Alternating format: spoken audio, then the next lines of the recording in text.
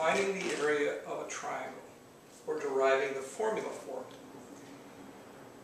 When we try to find the area of a triangle, we are going to make the triangle into shape that we already know how to get the area of. First thing we do is we make a line same length as AC, we'll call it BD. BD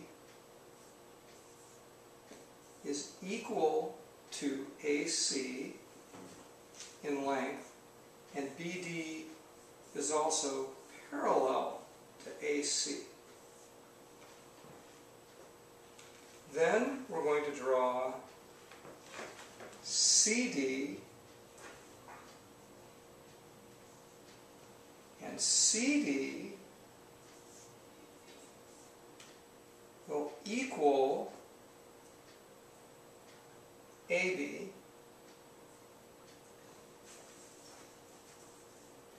and is also parallel to AB. What we've actually done is taken this triangle and flipped it over so that this triangle is identical to the size of this triangle. Because AB equals the same size as CD and is parallel to it, and BD is the same size as AC,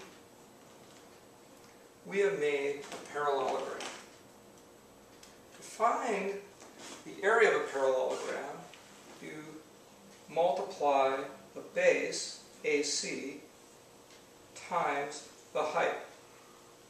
We don't have that, so we're going to drop a perpendicular line from B to AC, and we'll call it BE. So, area of the parallelogram equals base AC times the height.